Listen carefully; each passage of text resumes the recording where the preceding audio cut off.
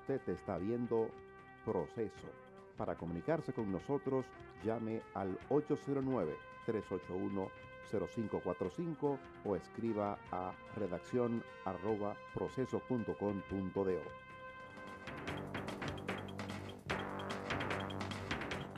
Bueno, pues esta semana que inicia mañana, luce que será una semana con algún nivel de, de complicación a partir de las cosas que han estado ocurriendo. Hay quienes piensan eh, que el proyecto de modificación a la Constitución no será presentado.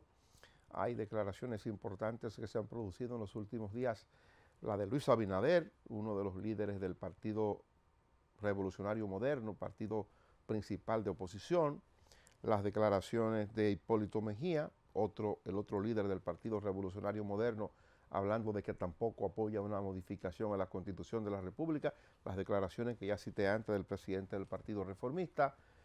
Y bueno, mm, pienso que en esa dirección, en esa dirección pudiera pronunciarse mañana un grupo de abogados, un grupo de figuras del derecho que están convocando a una conferencia de prensa mañana a las 11 de la mañana. Están convocando a esa conferencia de prensa los doctores Rafael Luciano Pichardo, Pedro Romero Confesor, estos dos son ex miembros de la Suprema Corte de Justicia. Está convocando también a esa rueda de prensa también Marino Minicio Castillo, Vincho, Abel Rodríguez del Orbe, José Enrique Hernández Machado, ese también fue miembro de la Suprema Corte de Justicia, y Juárez Castillo. Eso va a ser mañana a las 11 de la mañana en un restaurante de la capital por el restaurante donde se han estado haciendo algunas actividades en favor de, Leonel Fernández. Pienso que por las personas que son y por el sitio escogido, no me cabe duda de que será una declaración en apoyo al discurso que ha articulado el doctor Leonel Fernández, presidente del Partido de la Liberación Dominicana y aspirante a ser candidato a la presidencia de esa organización. A partir de eso, digo yo que hay que esperar que la semana sea noticiosamente interesante, porque el martes hay sesión en el Congreso.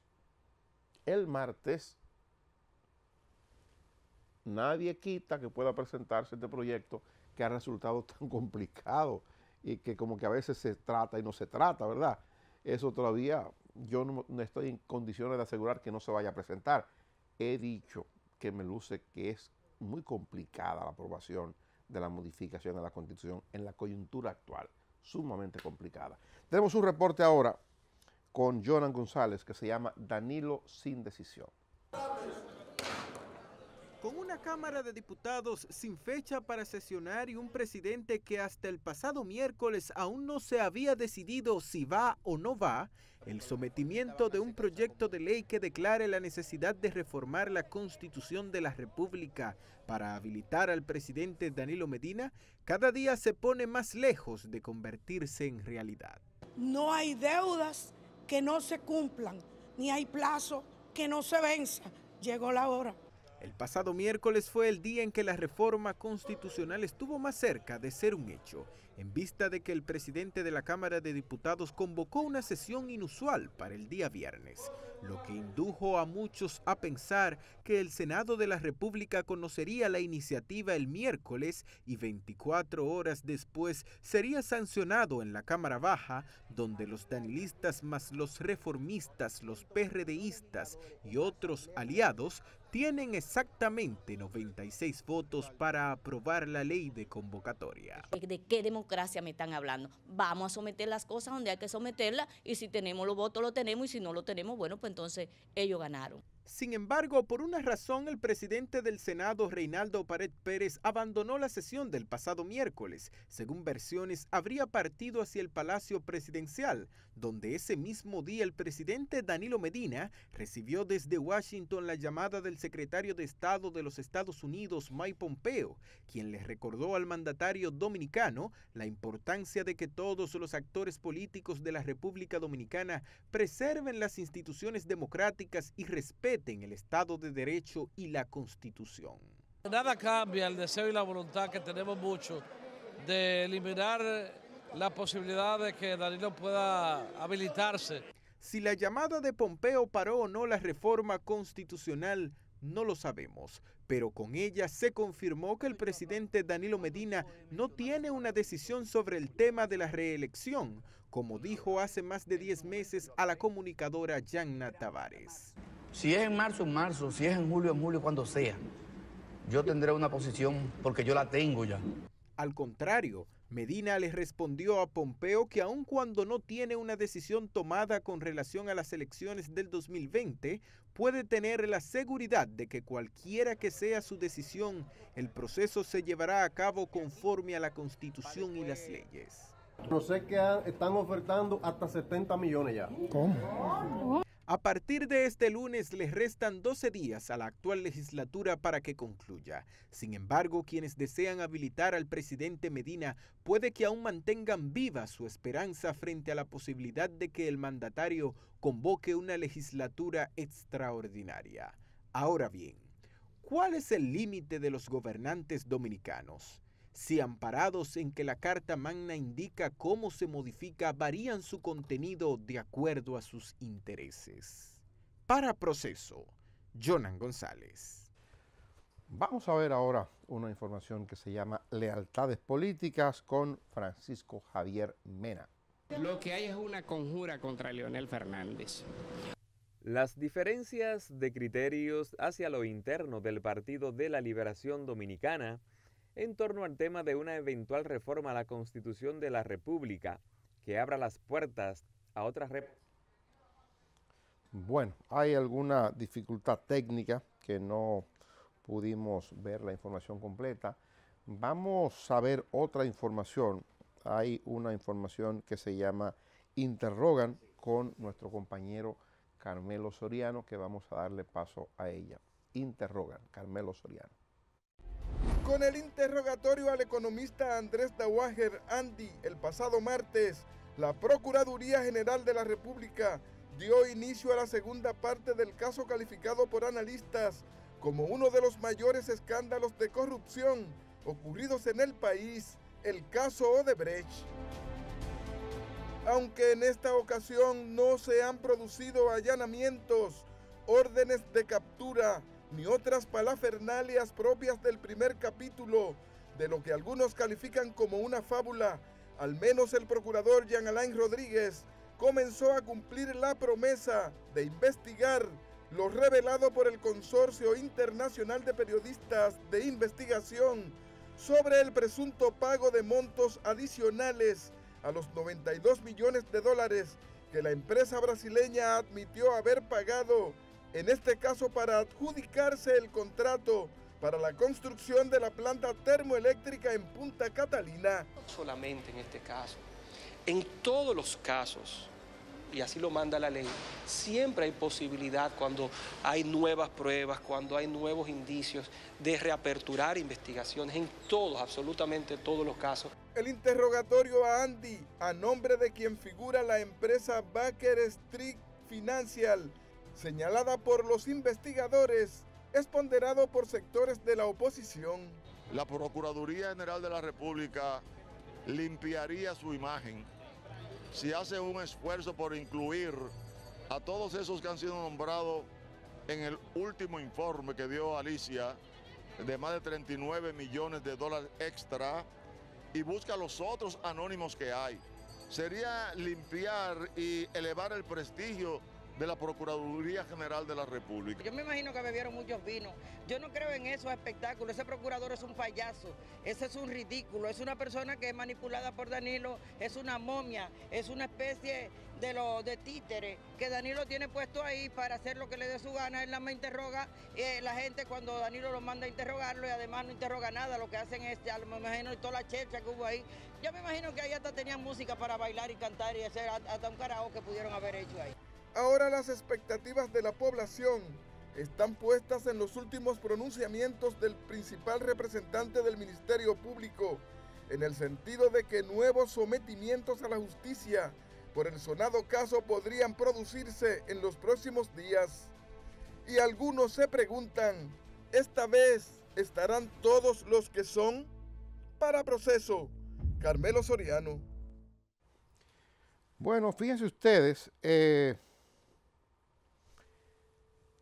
ya han interrogado a Andy Dawager por lo que contaba nuestro compañero Carmelo Soriano. Ya se produjo un interrogatorio a Gregory Salcedo Libre, quien fue presidente de la Bolsa de Valores de Santo Domingo. Hay una información reciente, última, sobre este caso. En el caso de Salcedo Libre, igual hay, hay transferencia que se le hizo a una cuenta suya y él presentó renuncia a la Bolsa de Valores. Ya incluso fue sustituido allí por otra persona. Y hay la información de que Procuraduría General de la República ya le ha interrogado y hay más. Lo que digo más recientemente que ha ocurrido es que este señor, luego de ser interrogado por el Procurador General de la República, eh, solicitó una cita con funcionarios de la Embajada de los Estados Unidos a quienes le habría dado detalles amplios sobre otros ciudadanos de la República Dominicana y empresas de la República Dominicana que utilizando compañías offshore recibieron dinero con determinados propósitos de parte de Odebrecht. Esto, como yo siempre dije, pica y se extiende. El asunto no ha terminado. Esto no ha terminado.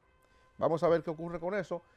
Incluso hay una información también de que el señor Andy Dawager está siendo citado por la Fiscalía de Nueva York y que en las próximas horas pudiera estar viajando a los Estados Unidos para responder preguntas sobre la adquisición de un inmueble, que es el apartamento que ya se ha citado y que él ha admitido que compró en la ciudad de Nueva York, pues sobre todo ese tipo de cuestiones sabremos más adelante. Vamos a publicidad, regresamos en breve.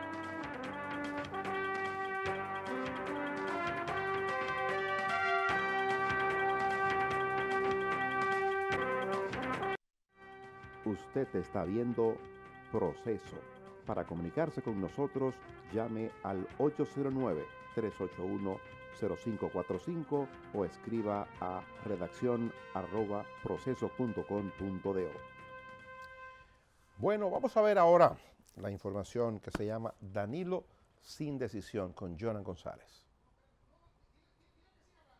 Bueno, es la información que habíamos presentado ahorita y que eh, presentó algunas dificultades técnicas, pero vamos a presentarles un reporte que recoge las cosas que han estado ocurriendo esta semana con el asunto de la modificación a la Constitución de la República. Ya se conoce, ya se conoce que se ha dado una situación muy complicada en el Congreso con la militarización. Los militares ya no están en el Congreso. Bueno, la información es lealtades políticas. Lealtades políticas con Francisco Javier Mena. Vamos a ver, lealtades políticas. Lo que hay es una conjura contra Leonel Fernández. Las diferencias de criterios hacia lo interno del Partido de la Liberación Dominicana en torno al tema de una eventual reforma a la Constitución de la República que abra las puertas a otra repostulación de Danilo Medina o ponga el cerrojo a las aspiraciones de retorno al Palacio Nacional de Leonel Fernández, han puesto a prueba una vez más hasta dónde llegan las lealtades políticas. Si bien la gratitud es una de las grandes virtudes del ser humano, hay quienes señalan que el agradecimiento no es eterno. Y la clase política dominicana, con honrosas excepciones, no parece estar formada para agradecer por siempre. Si bien la lealtad no es obligatoria, parece ser que en la actividad política es donde se hace más difícil ser agradecido y la falta de gratitud genera más contradicciones. Deseamos hacer un llamado al compañero Leonel Fernández y sus seguidores para que sus posiciones sean expresadas en el marco del debate normal. Nos preguntamos, ¿A cuáles decisiones específicas se refieren los compañeros encabezados por nuestro secretario general? Debería como secretario general mantener la neutralidad. Esa debe ser su posición. Y ese equipo de miembros del comité político, del cual yo soy miembro de su máximo organismo, que es el comité central, no tiene moral para hacer un llamado al presidente del partido. Una demostración de lealtad política la está dando hoy el merenguero Johnny Ventura quien antes de dejarse doblar por las ofertas del poder, prefiere doblarle un brazo al policía de servicio frente al Congreso para seguir oponiéndose a una eventual reforma a la Constitución de la República.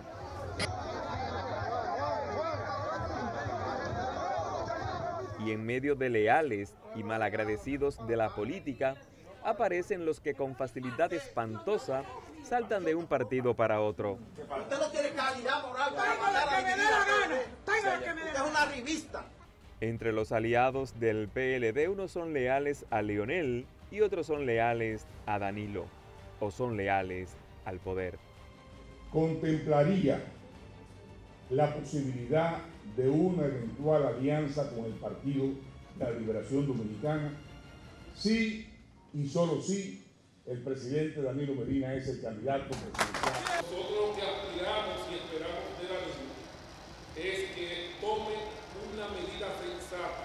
En medio del debate sobre la eventual reforma constitucional, las controversias internas del PLD salpican a sus opositores que aunque quieran ignorar el conflicto entre morados, terminan tomando partido con uno o con el otro. El continuismo no tiene los votos para hacer pasar la modificación constitucional. No existen los votos para reformar la constitución. Por el momento no estamos en eso. 17 años después de su muerte, el expresidente Balaguer es reivindicado por todos aquellos que criticaron el continuismo del líder reformista que desde el poder manejaba las lealtades políticas con la sencilla teoría de que si quieres conocer a fulanito, solo tiene que darle un carguito. Para proceso, Francisco Javier. Vamos a ver ahora una información con Belki Castillo que se llama 17 años sepultado el Partido Reformista Social Cristiano.